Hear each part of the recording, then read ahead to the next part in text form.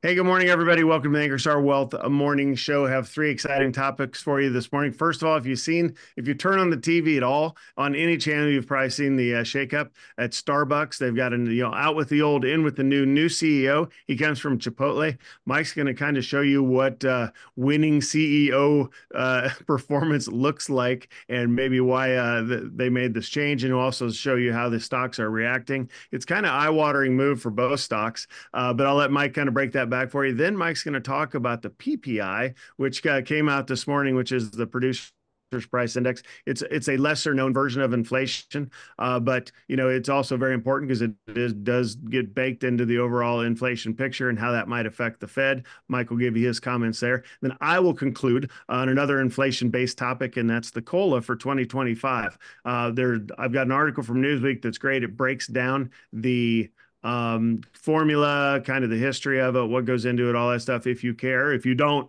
just skip right to the end and I will tell you what that range is going to be. It's really close. So it's pretty dialed in. Before we get started, this financial education presentation, you have to do your own due diligence for acting upon anything you hear in this presentation. More disclaimer information is available at ankerstarwealth.com. The opinions expressed are Mike and mine alone. Mike, over to you. What's going on at Starbucks? Okay. Now, when you see CEO salaries out there, and a lot of times we'll see, you know, 10, 50 million dollars, they get stock options, make 100, 200 million. You say, that's absolutely crazy money to be the CEO of a company. But let me show you the effect on the stock price and the overall value of a company when someone takes over the CEO reins that does fantastic. Steve gave an example the other day of Disney as being a great horse with not a great jockey. And I'm not saying that much about Starbucks, but their CEO, who just was, they're going to use the word replaced, but we'll call that mm-hmm. fired and, and replaced. You're going to see the effect that the new CEO has on that stock. And this is just amazing. So, uh, Lax, his name's Laxman Narasimhan he was handpicked a few years ago, March of 2023. So he's been in there all of a year and a half. And meanwhile, the stock has went down 20%.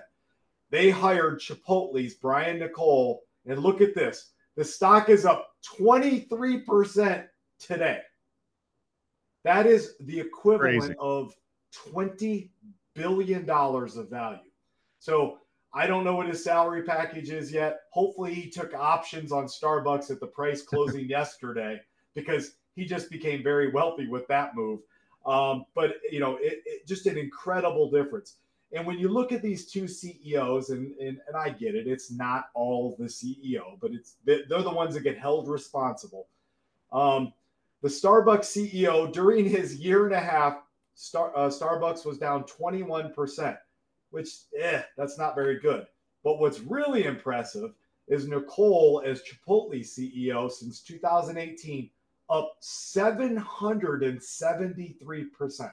So that's basically seven times your money uh, in whatever that is, six years for a place that serves, uh, you know, we know what they serve burritos and burrito bowls and all that.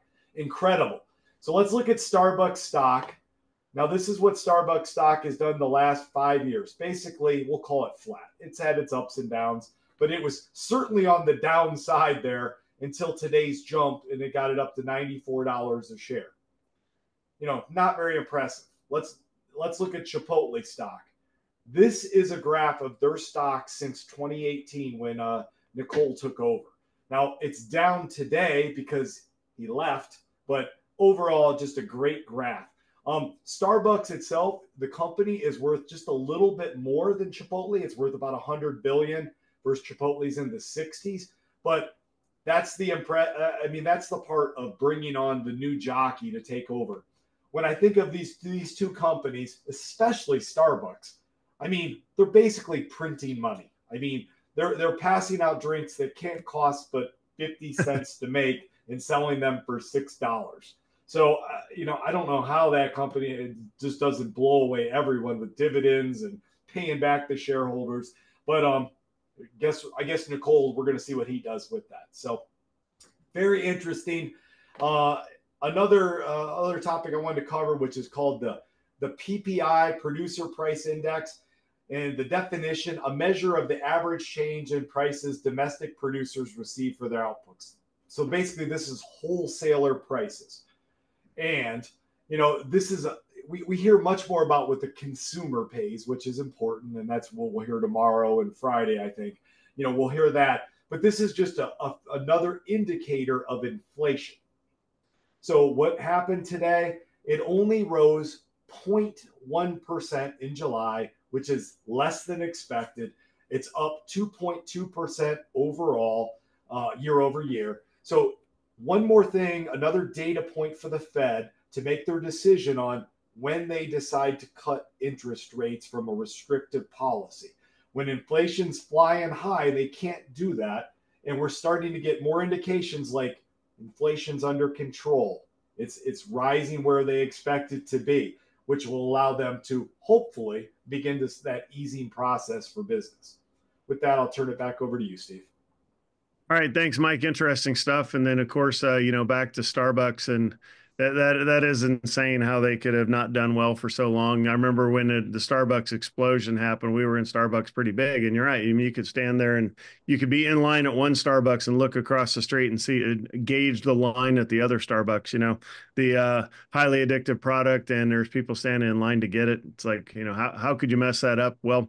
Uh, maybe there will be MBA case studies on uh, the CEO that just got replaced there. But switching topics to uh then we talked inflation. Let's talk more inflation stuff. I'm gonna share out my screen the 2025 COLA, the great Newsweek article. I'll let you uh, read it on your own. I've got it down here at the bottom though that talks about the prediction uh, for 2025. This article has the formula, all the stuff that's baked into the formula, who gets to make the call, all that. Uh, check it out on your own. But the bottom line in blue there is 2.6 to 2.9 percent is the ultimate is going to be the increase. It's going to be somewhere in that range. Um, now you know, let's look back at this chart. Uh, what, well, didn't we just get a big one? Well, that was the year before last. We got the 8% plus one. Then before that in 2022, we got 5% um, plus on those two. So really, uh, it, it's taken off pretty well. And then last year's was, uh, you know, 3.2%, which seemed muted with uh, all of the inflation that's going on.